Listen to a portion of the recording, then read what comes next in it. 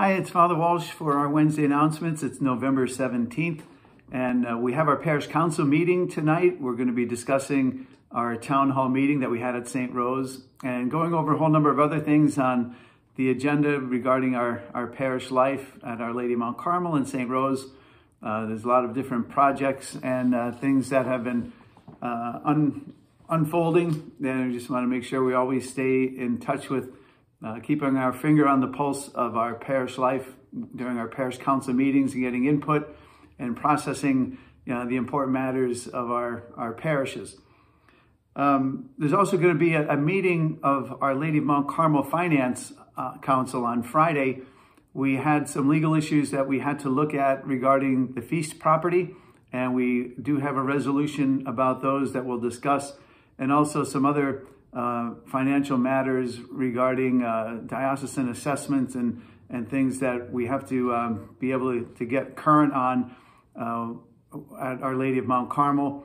Um, and being able to look forward to a next meeting for our feast committee because we're going to be discussing uh, the feast for next year, hopefully for July 2022 uh, asking God's blessing that that can take place and that will put everything in motion and uh, barring any other restrictions from uh, the pandemic, hopefully we can move forward with that and get everybody on board uh, with the planning for that.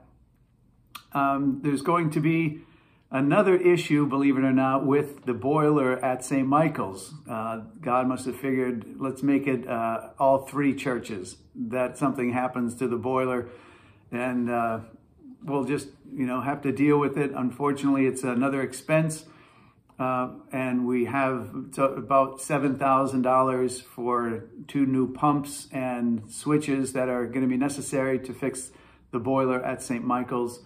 Uh, so I did mention last time in terms of the boiler at St. Rose. Uh, we didn't get the bill yet for that, but we know that's going to be quite an expense. So I think in the new year, in January, so as not to conflict with uh, the Holy Name Society calendar, uh, the fundraiser that they do um, around Christmas time. We'll have a raffle in the month of January uh, called New Year's Heat um, that we, will need to be able to have uh, some income to help pay the expense of fixing the boilers both at St. Rose and at St. Michael's.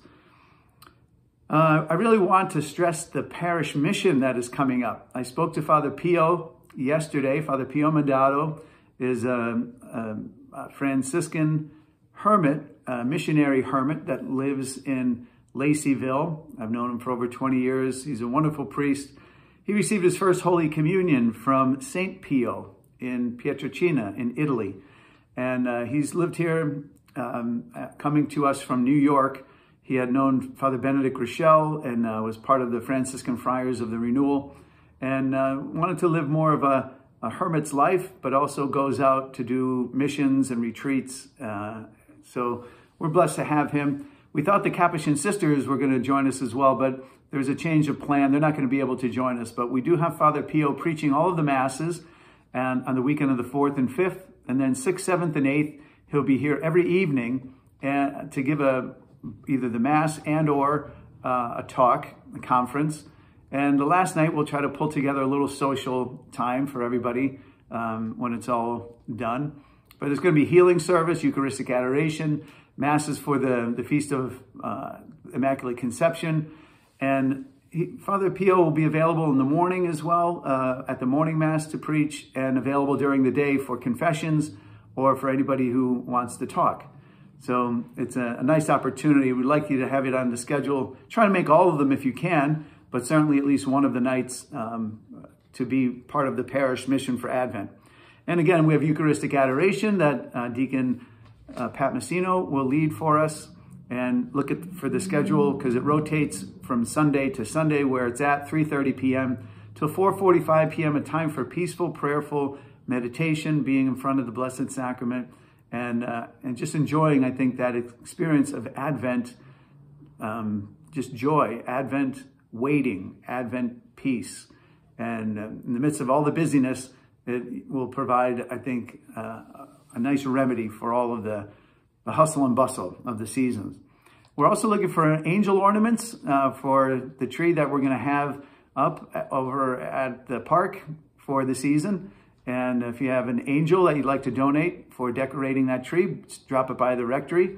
Um, and the Gift of Faith stress balls are still available. Happen to have one right here.